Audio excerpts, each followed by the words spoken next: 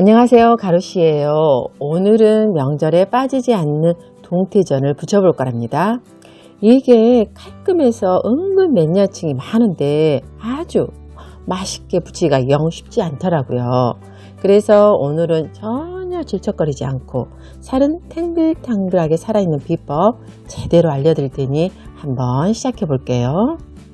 먼저 동태의 맛있는 맛을 더해주기 위해 밑간 작업부터 해볼게요 동태가 잠길 만큼 물 넉넉히 600ml 넣고 3가지 양념을 넣어줄게요. 간을 더해줄 꽃소금 1티, 남은 잡내를 잡아줄 청주 1티, 감칠맛을 더해주기 위해서 설탕 1 작은티까지 넣고 가루가 녹을 때까지 잘 저어주세요.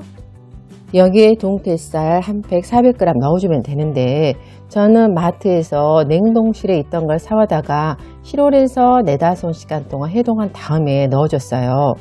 아무래도 냉동실에 있던 것은 완전히 깡깡하다 보니까 간이 배려면 물에 오래 담가놔야 하더라고요.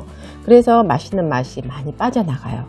그러니 빠른 시간 내에 동태에 간이 배게 하기 위해서 거의 해동되었을 때쯤 넣는 게 가장 좋더라고요. 저는 한 20분 동안 담가 주었는데 어때요? 살도 투명해지고 살짝 탱탱해진 게 보이죠? 이게 굉장히 중요해요. 예전에는 그냥 해동만 한 다음에 밑간만 솔솔 해서 많이 붙였는데 아, 그러면 이 맛도 저 맛도 아니고 물이 많아서 되게 맛없더라고요. 이 과정을 거쳐주면 필요 없는 수분기도 빠지고 간도 배고 살도 쫀득쫀득하게 응축돼서 맛있으니 꼭꼭 해주세요. 또 지금 기껏 열심히 물기를 빼놓았는데 바로 붙이면 당연히 또 질척거리겠죠.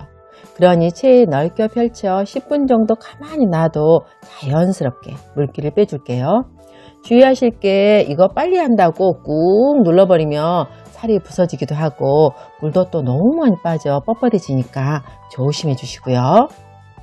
그동안 동태를 붙일 계란물을 준비해 볼게요. 저는 이번에 조금 색감을 두 가지 내기 위해 이렇게 계란 서너 개 준비해서 노른자와 흰자를 따로따로 분리해 주었는데 이게 뭐 번거로우면 그냥 우리 평상시 전 부치듯이 계란물로 만들어도 되니까 편한 대로 해주세요. 그리고 노른자와 흰자 둘 다 잘 풀어지도록 젓가락으로 몇 번 가볍게 저어주세요. 다시 동태로 돌아와 볼까요? 지금 10분이 지나서 물기가 많이 빠졌지만 그래도 아직 좀 겉에 남아 있거든요. 그러니 키친타올에 올려 가볍게 톡톡 두들기면서 한 번 더 수분기를 제거해 주세요. 그럼 질척한 물기 없이 깔끔하죠. 우와 정말 손이 많이 가고 있는데 맛있는 맛을 위해서 끝까지 힘내보자고요. 그 다음 판에 넓게 펼친 다음 후추 살짝 뿌리고 부침가루 3분의 1컵을 골고루 입혀주세요. 저는 부드럽게 한 겹만 입히기 위해 고운 채로 뿌려주었는데 뭐 그냥 접시 위에 올려 하나하나 입혀도 상관없어요. 그리고 뒤집은 다음 한 번 더 뿌려주면 이제 준비는 다 끝났답니다. 본격적으로 붙여볼까요? 이제 팬을 중불에서 에어를 준 다음 식용유 넉넉히 두르고 살짝 데워주세요. 그 다음 계란물 입히고 팬에 올려주세요. 역시 명절 전은 좀 예뻐야 먹을 맛이 나니 알록달록한 홍고추와 쑥갓을 살짝 올려줄게요. 이제 중약불과 중불을 오가면서 양면을 익혀주세요. 살이 금방 익으니 잘 살펴봐 주시고 또 비주얼을 내기 위한 팁을 하나 더 드리자면 뒷면은 좀 이렇게 갈색빛이 날 정도로 살짝 노릇하게 익혀주시고 앞면은 조금만 익혀주세요. 그럼 이렇게 색감이 맑게서 깔끔하게 보기 좋아요.